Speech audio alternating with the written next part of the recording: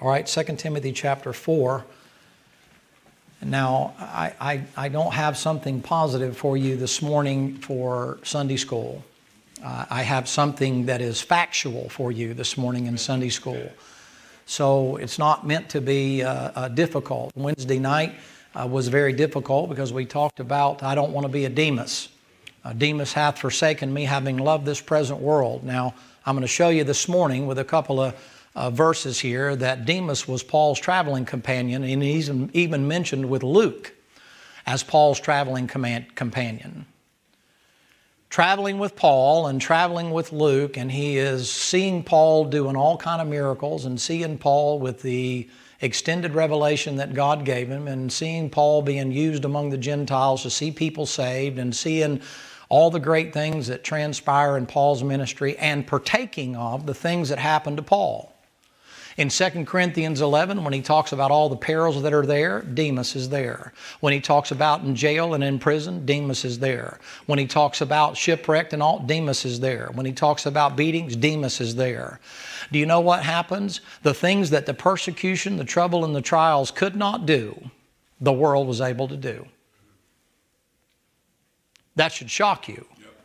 That should let you know the strength of the world's pull. Listen, if anybody would want to get out, the trouble that the Apostle Paul went through, that he winds up thanking God for and, and saying, We glory in tribulation and so on and so forth, those things didn't knock Demas out. The ministry didn't knock Demas out. Demas has no, reckon, uh, no, no uh, comments about the brethren upsetting him or somebody getting mad at him or any of that other kind of stuff. The statement about Demas is very limited. It said, Demas hath forsaken me having loved this present world.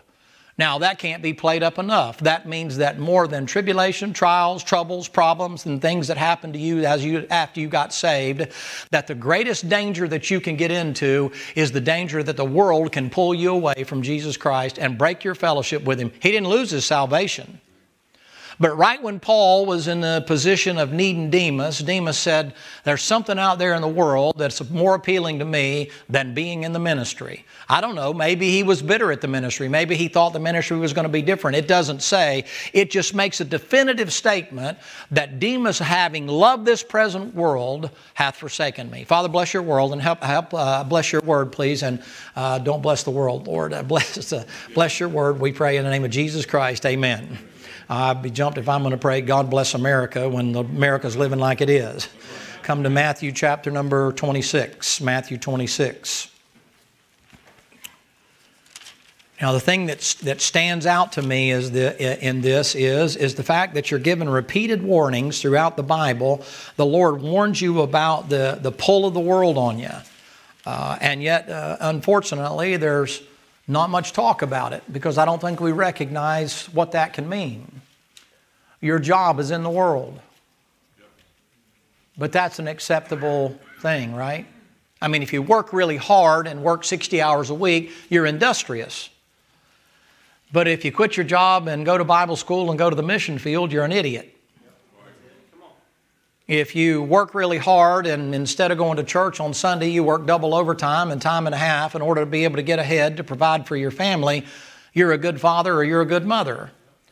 But if you say, I don't want the overtime and I'd rather not have the new lawnmower, I'd rather not have the new truck, I'd rather be in church, you're a fool, you're an idiot. See, the world is not always about lascivious things.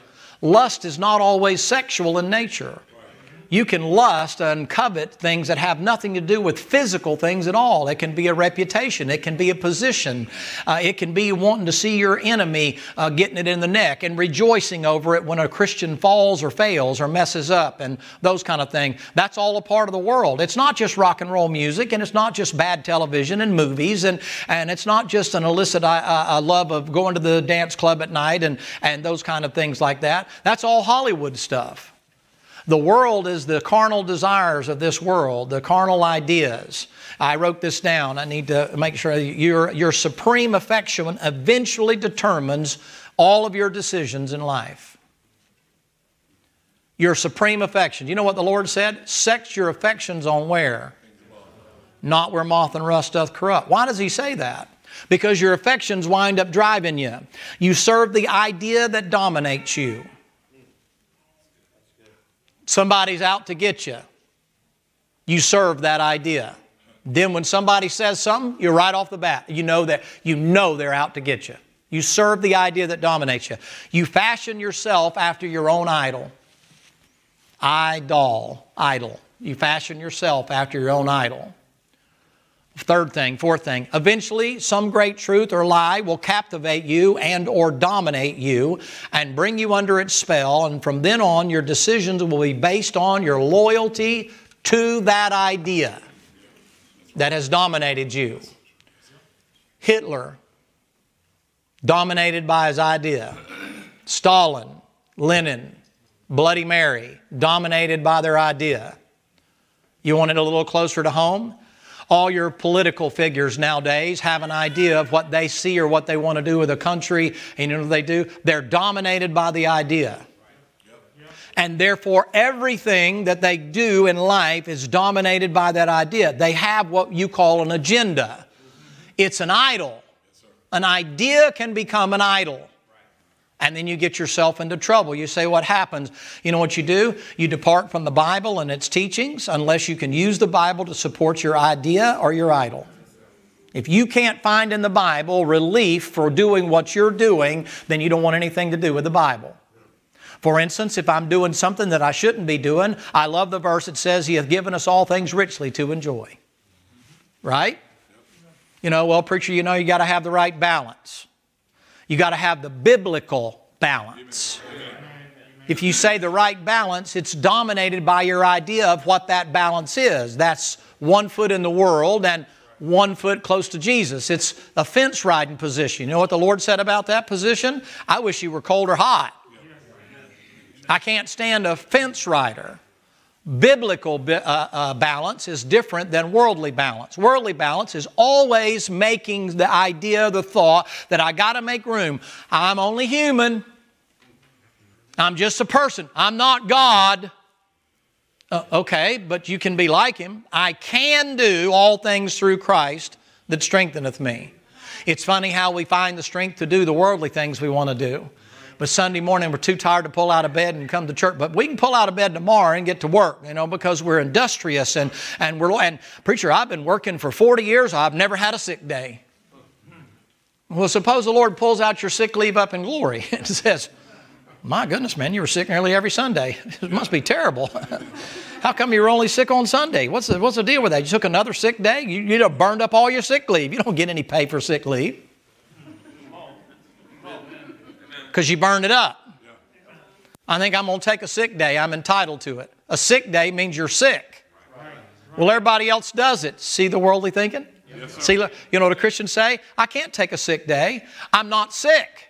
Ah, well, don't worry about it. Just, you know, get a doctor's note. Tell everybody you're sick. I'm sick, you know. I'm really sick and that kind of. Be careful. You might really get sick. Yeah. And then you wish you hadn't lied about it.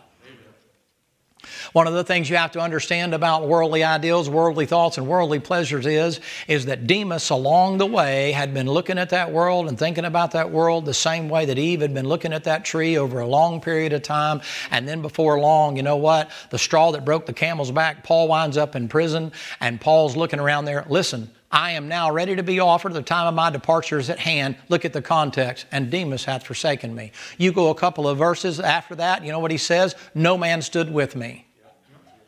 You know what he said? The pressure came and they had already made the decision. You say, why? He had departed long before Paul went to prison. He just said, I've had enough. I'm out.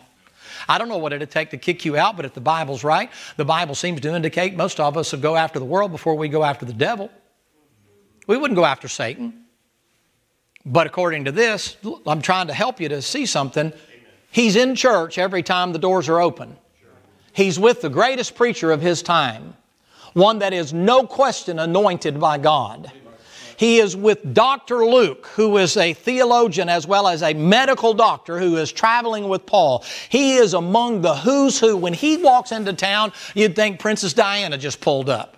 I mean, Paul's here, man. Well, who's around Paul in the entourage? He'd be like one of the apostles, one of the 12. You know what I'm going to show you here in Matthew 26? You couldn't imagine it. Here's the Lord. He gets betrayed. The Bible said, and they all forsook him. They all forsook him. You say, yeah, skin for skin, all to the man hath he give for his life. You say, well, they ran. Well, why did they run? Well, The world teaches you take care of yourself. God teaches you let me take care of you. Let me just show you a couple of things here to give you an idea so that you understand. You say, well, you're kind of spooking me a little bit. Well, I intend to spook you a little bit. I intend for you to recognize that no matter how close you are today, you're literally one step away if you start converting or, or, or, or, or conversating with conversating. If you start having a relationship with the world, it won't be long before that world will suck you right in, and before long you think, uh, uh, it'll never happen to me, it'll never happen to me, and that one thing will happen, and you'll be out just like that and never to return. You say, having loved that pleasant world. Well, you know, they're a little carried away, a little fanatical over there, a little bit too much the King James Bible's the authority, and a little bit too much of, you know, living your life for Jesus Christ. I mean, you know, man's got to have room to live, man's got to have liberty to do this, man's got to have liberty to do that. Did you ever think about that statement? Did you ever think about when you get to heaven that all those worldly thoughts and ideas won't make a difference anymore at all? That you're going to spend your whole time in solitary confinement? You're going to be with Jesus whether you like it or not. You never thought about that, did you? It's kind of like, well, you know, well, if it's not important, why does he let, you, let that be your eternal sentence? Most people get saved nowadays, and they get saved and use it as fire insurance. And then they wander in the wilderness for the entire time after they get saved, and they stay out there in the wilderness and stay halfway between Egypt and Canaan, and they just don't want to make any sacrifices. They don't want to make it. They don't want to trust the Lord. They don't want to step out by faith. They're just happy right there where they are. And you know, well, you can go into the land of giants. Well, we went over and surveyed that, but man, them people are big over there. And you know what? I mean, I mean, that might be a better place and all that, and it might cost something. We might have to fight to get it. But you know, what's wrong with this right here? You know what the Lord said? He, for 40 years, He lets an entire generation die in the wilderness because they didn't want to go. You know what you see Christians do today? They wind up out there, they're saved. Some of them sitting in church in the wilderness, just wandering in the wilderness, just wandering in the wilderness. Never crossed Jordan. Never had the cloud up above them go through what's called like a baptism. Never walked over there. A couple million people cross over to the other side. Never fought a giant in their life. Never wound up taking a mountaintop. Never wound up enjoying the grapes that are over there and the milk and the honey that flows over there. More importantly, never inheriting what God wanted them to inherit. You say, why? Loved right where they were. Walked in circles, the Bible says. Yeah, but preacher, you know their shoes didn't wear out. So you're thinking God's blessing the fact that they're walking in the wilderness because their clothes don't wear out and their shoes don't wear out and they're getting manna and they're getting quail and you're looking at it and you're going, well, yeah, God's blessing them. No, God's tolerating them till they die. And then He offers a fresh crop. He says, now, you want to go to Canaan or not, or I'll let you die too. You know what He'll do with Christians? He'll do with Christians like He did with Demas. See you later. Acts chapter number 13, the Apostle Paul's coming along there. I'll get there in just a second. I've got a lot of things to say to you this morning. Acts chapter number 13, the Apostle Paul comes up there. There's a boy there by the name of John Mark. And Paul gets off the boat there and he curses a guy with a, not, not, not foul language. He, he uh, uh, uh, makes the guy lose his eyesight there because the guy's standing between him and what God wants him to do. And John Mark steps back and says, hey, Paul, that seemed a little harsh to me. I just I think that's a little bit rough.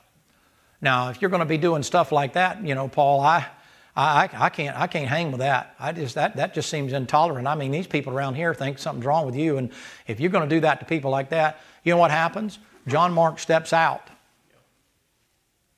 And a little bit later on, in about Acts number chapter number 20, they're making a decision on where to go, and Paul said, Leave John Mark behind. You say, why? He ain't on the same page. He's more interested in what his agenda is than what God's agenda is. And instead of saying, Preacher, what'd you do that for? and asking questions, he said, Preacher, my opinion is you're too rough, too harsh. And for nine years, that boy stays in the wilderness. Nine years, John Mark would have been the Timothy. Nine years, he missed sitting with Paul like Demas. You say, why? Love the present world. Love the preservation of self. Love popularity. Loved a religion that got along with everybody. Loved a religion that said, hey, everybody's right and everybody can be, nobody can be for sure. But loved that kind of a religion. You know what Paul said? Leave him behind. You say, yeah, but when Paul was dying, you know, he said bringing him, he's profitable for the ministry. He obviously learned from it, but you jump immediately and miss out on nine years, 360 days a year Nine years that boy could have been sitting there with Paul learning. Nine years that can never be recovered. Nine years in the wilderness. Love this present world. Uh, preacher, this is just ridiculous. It's just crazy. I know people that are like that. I know people, it doesn't matter what the reason is, but it's a worldly reason. They've lost sight of eternity. They've lost sight of the judgment seat of Christ. They've lost sight of standing in front of Jesus Christ and given an account for the things they do in the body, whether it be good or bad. They, whatever their reason is for getting out, it's a good reason to them. The people that died in the wilderness, it was a good reason. They died in the wilderness. They were going to die anyway. Wouldn't it be better to die in Canaan than in the wilderness? I think it would. Wouldn't you rather be uh, over there in Canaan and saying, Yeah, I, I Uncle, uh, Uncle Bobby got killed over there trying to take over these giants and all that kind of stuff. Sure, I'm grateful for what he did. Wouldn't that be a better thing to do? Yeah, Uncle Bobby died in the wilderness walking around in circles. Just walking around and never made a decision. He just, every day, day in and day out, same old thing, that kind of a deal. Yeah, we, we buried him over. Where's he at? He's crossed the river over there. Well, what's he doing over there? Why didn't you bring him with him? He didn't want to come. Love this present world. You see, preacher, you're, you're kind of uh, provoking me a little bit. I hope so. I hope you understand that no matter how close you are and how close you think you are today, you understand that there are people that have followed some of the great preachers in our lifetime and been around them, and they're completely out of the ministry now and completely out of church now, and they go nowhere and their families go nowhere, and that bitterness has spread epidemically across other people because of what some they, they were close at one time. Sunday school teachers, preachers at one time, soloists and singers at one time, in service at one time, doing all the things at one time. What happened? Love the present world. A preacher, you know, you don't want to be so heavenly minded, you're no earthly good. Okay, well, let's see how that plays out when you get up there. Lose track. Something's more important. The idea nowadays is, is when a kid graduates from high school, whether they do or don't go to college, to go ahead and get your college and get your career and go out there and go to work and get married and have a couple of kids and get you all this and that and the other. And then when you get on up in your 40s and go, come on back into church, you're going to die in the wilderness. You say, why? Going to church has to become habitual. You have to learn to do it whether you like to or not. You say, why? It keeps you from getting stuck in the wilderness. Amen keeps you from hanging out in the wilderness. You say, why? Did you realize the people in the wilderness all died in the wilderness except two of them and their families? Joshua and Caleb. You say, why? Birds of a feather. It won't be long before you'll be hanging out with the people that are hanging out in the wilderness. And you know what they're going to do? They're going to tell, yeah, you ought to be in the wilderness with us. Yeah, I, the church, church did the same thing to me.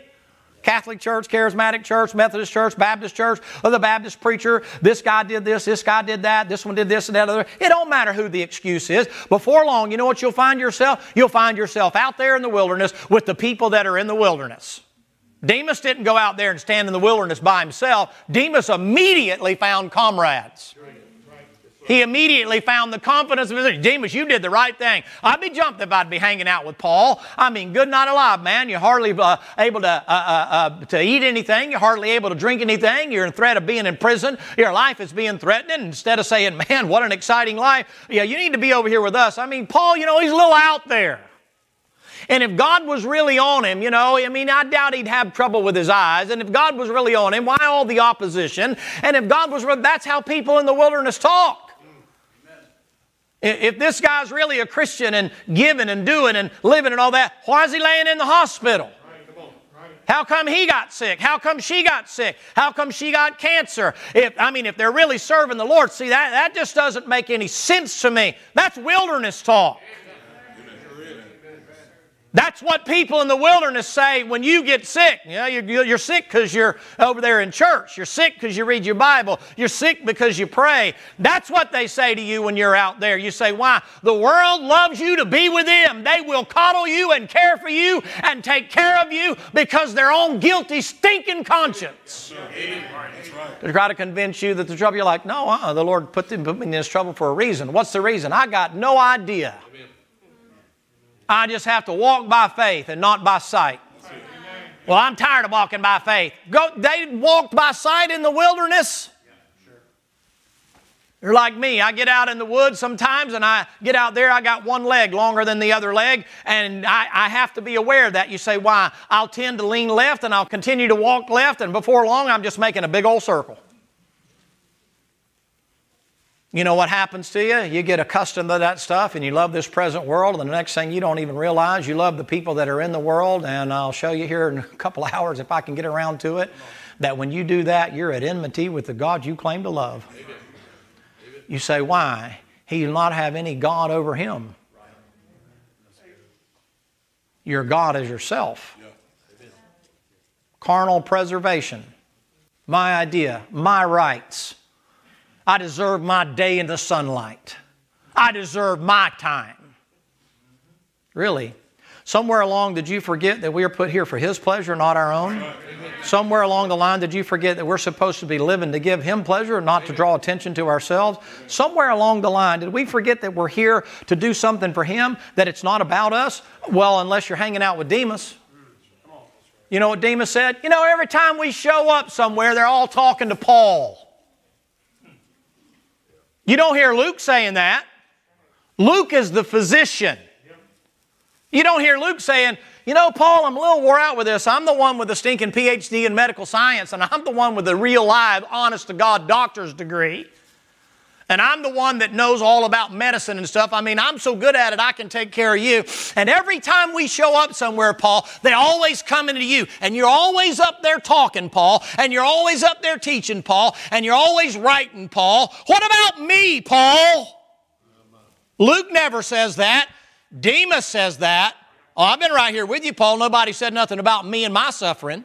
I've been right there with you, Paul, the entire time. Nobody said anything about my writing. I mean, after all, I mean, don't you remember I was down on the street and led a guy to the Lord? Nobody said nothing about that, Paul. I mean, I was with you when the people were saved at that great meeting out there. I was standing right there with you. I was leading them to the Lord. I was taking them to the back. I was praying with them. I was setting them up. I was discipling them. I was ministering to them. I was pouring water on your hands. I was taking care of you. I mean, Paul, ain't nobody said nothing about me.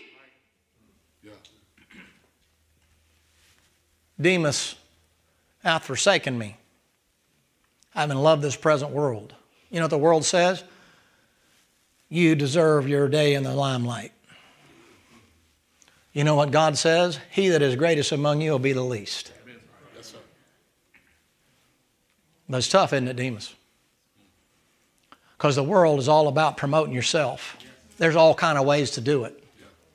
There's all kind of ways, sometimes even making it look like you really care about something or somebody, but it's really just an opportunity for you to step in and, well, I was there because, you know, because of what? The privilege of being with somebody when somebody's passing away or doing a funeral, and all of a sudden you see the real Demas show up when their agenda is about what they're talking about and what all they've done instead of about the person in the box. It's nauseating. That's why real warriors rarely talk about all the things they've seen and done. I mean, the real ones. Because they realize they wouldn't have come back if it wasn't by God's grace and the help of the brethren. They wouldn't be back. You know what they did? They just, you talk to them, they're like, and they were in the thick of it, and they saw things and did things that you couldn't stomach if you knew about it. But they don't talk about it. You say, why? They realize it ain't about them. They didn't go over there and win the war by themselves. But worldly thoughts and worldly ideas become that way of thinking, and before long they become your idol. And guess what? They dominate you until they've got you in its grasp, and then everything you do follows that line. I know what I'm talking about, and I know it's true, and that's one of the things that psychiatry is trying to fix. They know you are what you fixate on. Well, who doesn't know that that's got a Bible? As a man thinketh in his heart, So, why does the Lord tell me I better have my affections instead of on myself? I better have my affections on things above. What's above? Oh, Him, Amen. angels, Amen. principalities and powers, cherubim, seraphim, throne room, judgment seat of Christ, eternity. That, that's what's there. Not this down here. Who's going to win a political contest? Who's going to be in charge? Who's going to make it easier on you as a Christian? Who's going to give you the greatest tax cut? Thank you. I got two of them there. The rest of you are like, whoa, no, whoa, whoa, whoa, whoa yeah, yeah, yeah. If 10% is good enough for the Lord, it's good enough for the government. Suppose the government took 90% from you. What's that to you? Keep you wanting to go out, wouldn't it? Wouldn't you want to leave? Why is everybody trying to make this world such a comfortable place?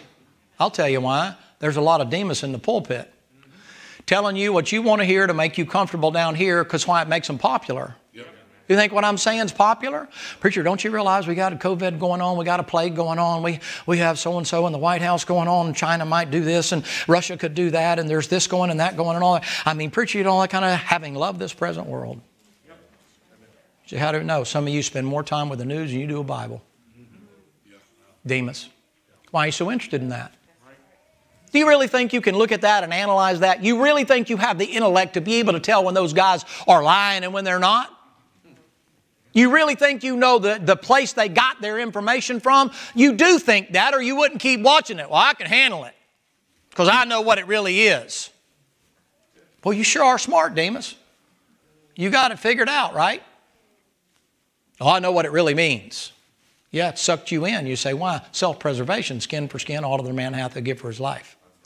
In Matthew chapter number 26, I haven't forgotten where we're at. In Matthew chapter number 26, the Lord's going through uh, being uh, taken there in the garden after they've been praying up there. And they went a little ways and went into the garden to pray. And he comes back, wakes them up three times, and they don't. Last time he leaves them sleeping over there. And there's a rustle in the bushes, and they come up there to get the Lord. And the Bible says that when they come up there to get the Lord, all of them have forsaken him.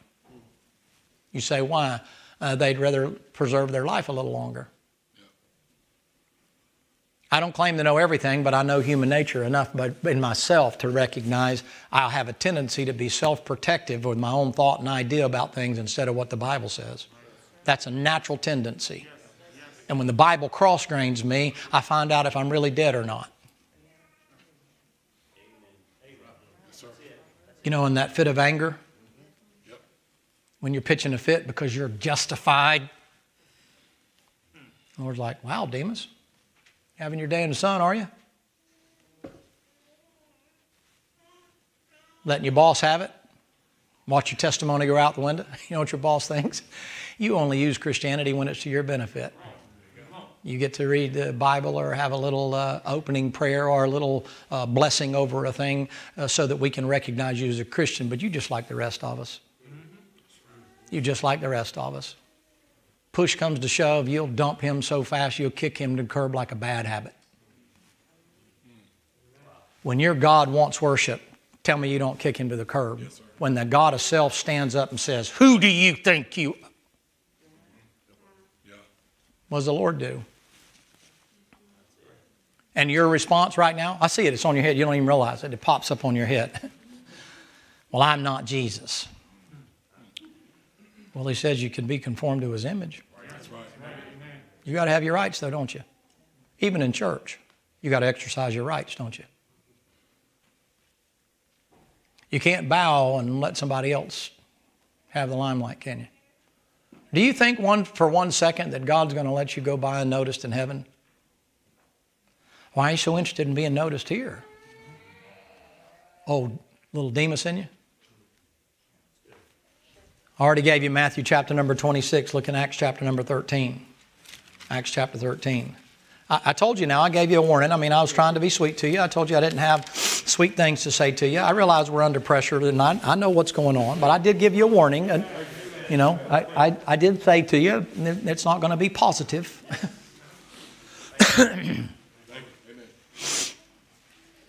Acts chapter 13. I need your help not to be a Demas. That when I do what God tells me to do according to the Bible, that I have the support of you being behind me. You say, why? I have to watch myself. Do, do you think I always want to be the armpit of every joke? Do you think I enjoy being talked about at dinner time? My wife made fun of? People talking about my family and what a shambles it may or may not be? You, you, think, I, you think that's what's my natural tendency? My natural tendency is to kick all of it to the curb and do what I need to do to fix that instead of what the Bible says. So I'm, I'm just telling you, I need you. I need you to say, Amen, preacher, I don't like it, but amen or oh me, it's still true. And at least I have a few people that are, that are with me. But I know my flesh. My flesh wants to be liked. It wants to be appreciated. It wants to use His words to facilitate my agenda. I have to be careful not to wrest the scriptures to my own destruction. But if you think I get pleasure out of this, you're smoking crack. You say, why? Well, look around you. In spite of the pandemic, for us, we got a good crowd here. But don't you think we could have about 10 times the size of this if I just use an oratory skills to maybe be a little bit more positive and change things a little bit and change the music and kind of, you know.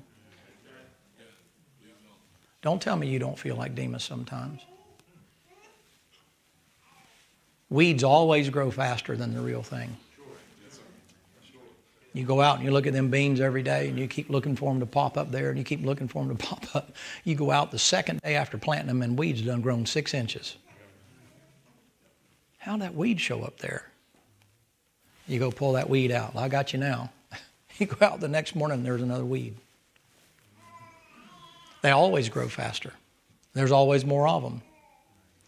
Acts chapter number 13, the Apostle Paul says in verse number 13 Now, when Paul and his com- company loosed from Pamphius, uh, Paphos, excuse me, they came to Perga in Pamphylia, and John, departing from them, returned to Jerusalem. Look in Acts chapter 15. Acts chapter 15. Look at verse 37. And Barnabas determined to take with him John, whose surname was Mark. But Paul thought not good to take him with them, who departed from them Pamphylia, and went not with them in the work.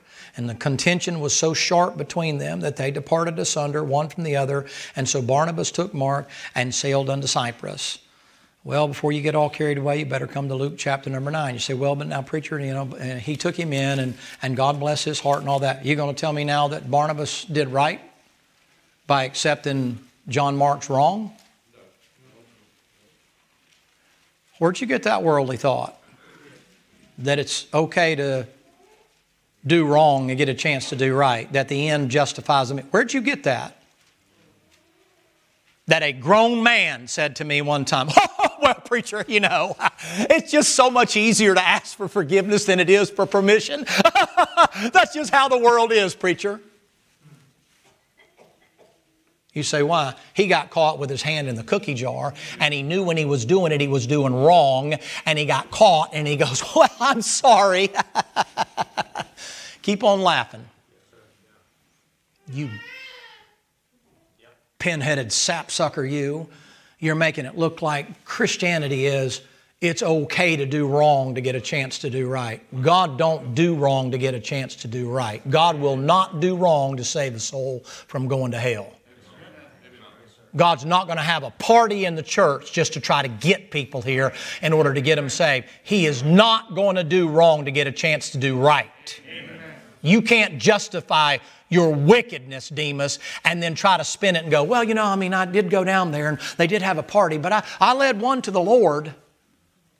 You know, that's like the kid that was here that was always saying his, his favorite verse was, I'm supposed to be all things to all men that I might win some. He was justified going to the topless club down at Jacksonville Beach down there and saying the reason he was hanging out there was he was trying to win people to the Lord. some of you think, well, oh, you know, okay, I mean, those people need saving too. And so it's okay for you to expose yourself to that? Well, if that's the case, I'll meet you down there this afternoon. I'm sure nobody's saying anything about a preacher being down there. I mean, I want to make you comfortable. You know, we're going to go have dinner. You know, you have a little wine with dinner, right? Well, just go ahead and pour me a little bit too. I don't want to make you uncomfortable. You want to tell a dirty joke? I'll, I'll, I'll listen to you. I won't tell the joke, but I'll, I'll listen to you. I don't want to make you uncomfortable. You say, what is that? That's Demas. That's Demas.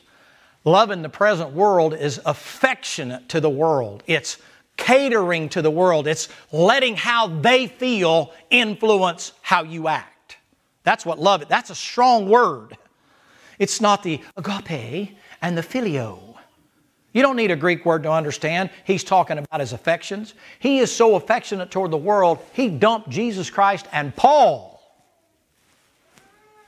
when, when tribulation and persecution wouldn't do it. You say, well, it never happened to me. You ever love the bitterness? Your bitterness ever pull you away from the Lord and cause you to wander in the wilderness? little Demas there. If anybody had a reason to be bitter, Paul sure did. Well, Paul's different. That's Demas talking. Paul said, I'm your pattern. He said, Follow me as I follow Christ. Did you find Jesus? If anybody would be bitter, ought to be Jesus. His own creation's treating him that way. You never see him go the way of the world. He's like, I'd rather have, I'd rather go home to be with my father than I would to pander to these people. Don't you know that the Lord could have had a, a, a, huge insurrection and had people follow him and created a, a gigantic, uh, ginormous was the word I was looking for, following? If he'd have just followed what his own folks wanted him to do, you say what they wanted him to do? Kick Rome off the throne, get the Gentiles out of the way, and make Jerusalem the capital and take over and let them be in charge.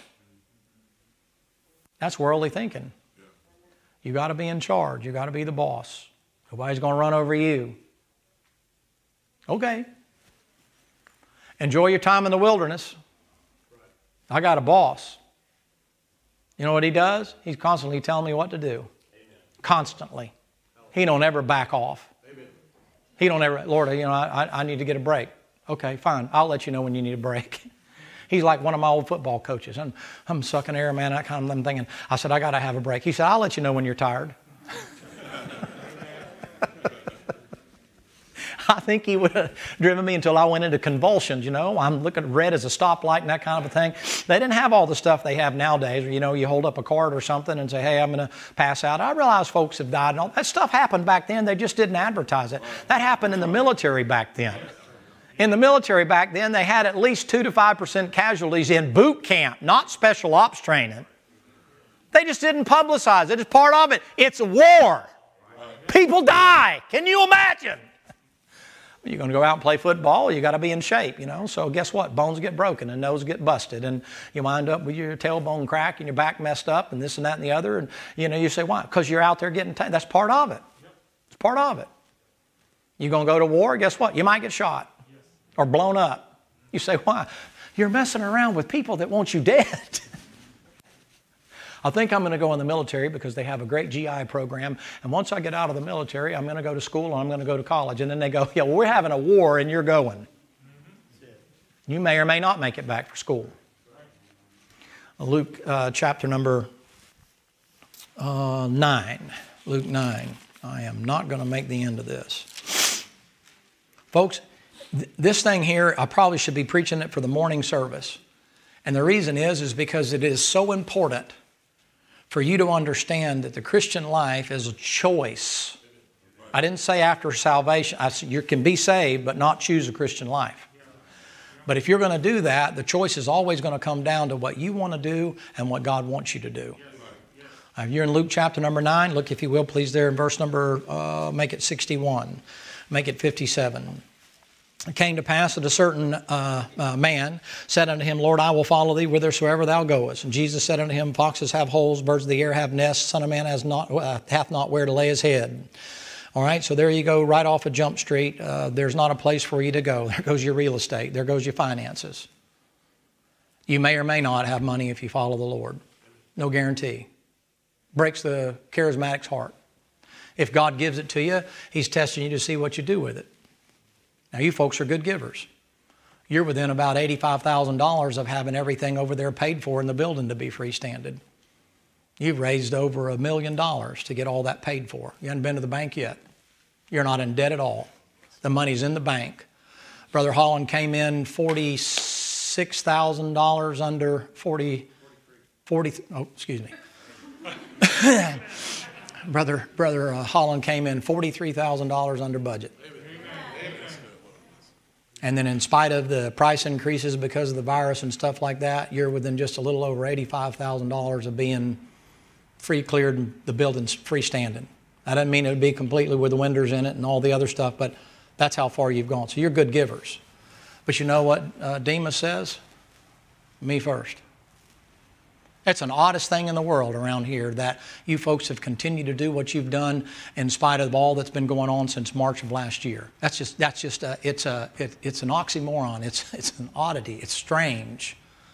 A hyperbole, I think, is the word you use it for. Look in verse 59. And he said unto another, Follow me. And he said, Lord, uh, suffer me first to go bury my father. And Jesus said unto him, Let the dead bury the dead, but go thou and preach the kingdom of God. The Lord said, You got a chance to go now. Uh, you don't know whether that guy's uh, dad's dead right then or he's going to wait for him to die. It doesn't say. But look how baby Jesus responds. I'm giving you a chance to go preach. You know what Demas said? I'm worried about my reputation. What are them people going to say if I don't go to daddy's funeral? What are they going to say? They're going to say you chose Jesus over daddy. Boy in the South, boy, that sure, do you feel the tension right there? Boy, I mean, um, you talk about, oh, now wait a minute. I'm just, I'm just reading you the Bible. Jesus said, let the dead bury their, dead, go preach. You mean preach is more important than burying your, well, that's what he said, if that's what God calls you to do. Look in verse 61. Another also said, Lord, I'll follow thee, but first, but let me first Go bid them farewell that are at my home at my house. And Jesus said unto him, No man having put his hand to the plow and looking back is fit for the kingdom of God. He said, What is that? That's the double minded man, unstable in all his ways. What is that? That's a man who puts friends above Jesus. The people at the house of the Lord said, If you go back over there, if you go back to your old way, if you go back to your old company, you know what you're going to do? You ain't going to follow me. I already know what's going to happen. I talked to a young man just the other day, and he was talking about, you know, he got out of a bad situation and he did his time and that kind of a thing. And he called me up and asked me to call him. I called him, and uh, uh, he said, I, would like some advice on what I need to do. He doesn't live in the state. And I said, okay. I said, uh, well, what's going on? And he started telling me about where he'd been and the amount of time he spent in prison and this and that and the other. I said, okay, I'm not interested in that. Where are you now? He said, well, I have a job and I'm doing this. I said, okay, I'm going to give you two things right off of Jump Street that are hugely important. He said, Okay, I'm listening, preacher. I said, Okay, number one, you need to find you a good Bible believing church, one where the preacher isn't afraid to tell you white's white and black's black, and because I said, You need straight preaching. I said, Because you're a con man, you're going to recognize a con in the pulpit. He said, Well, where do you find that? I said, Well, you don't find it sitting in your living room flipping channels. You got to get out there and go looking. I said, Number two, and as important as number one, don't go back to the old crowd. Amen. I said, Are you in the same city you were when you got in trouble? He said, Yes, sir. I said, Move. He said, Well, you know, I mean, I, all my connections are here. I said, The right connections are the ones that got you in trouble. Did you not learn anything in prison? I said, You've been sitting over there for a little over 10 years. Now you're out. You're asking me. I've been around the block enough to know Two things are going to mess you up. Number one, you need to change how you think. You need to be under a Bible believing preacher and listen to him teach you what the Bible says. And number two, you've been with the wrong crowd. He said, Man, I realize I'd have to move. And I said, Well, if you don't move, they'll move you. He goes, What do you mean they'll move me? I said, They'll move you back to prison. I said, They decided where you went to prison. Did you get to put in a choice when you got found guilty? Did you say, I want to go to Tuscaloosa? I haven't told you where it's at now. Did I say, I want to go to Tutwiler? I want to go uh, to such and such and this and that and the other? He said, Well, no, they just sent me where they. I said, Exactly. You know what they're going to do? They'll tell you where you're going to go. Don't go back to the company. You know what the Lord's saying to you here? I'll close this and we'll finish it up tonight. Hope you'll come back tonight. Amen. You know what he says here in this particular passage right here? He said, I know if you go back to that old crowd, you ain't going to follow me. You either follow me while you've got the chance, step out right now, and let's go. If you don't, your finances, your family, your friends. You know what Demas says? Those things are important, man. Tell me he doesn't. You're raised more nowadays on how to make a living than you are how to live. I don't care what kind of living you make. If you don't know how to live and how to handle the making the living, it ain't going to do you anything but damn you. You say, why? It'll become your idol. Father, bless your word and help us uh, this morning to at least consider these facts that are found in the Bible. Help us to understand that you tell us these things for the reason of instructing us, of helping us, of guiding us, and of directing us. It's not to try to hurt us or to harm us, but to keep us out of harm's way. And Lord, help us not to be that Demas. Help us to recognize that we all have him living in us as much as we have Judas in us. We'd ask, Lord, that you might take these things and teach us these things and use your book as a schoolmaster to bring us to the knowledge of you and help us, Lord, not to depart from you, especially in these last days. We'd ask now you be with us in the upcoming service. We pray in the name of Jesus Christ. Amen.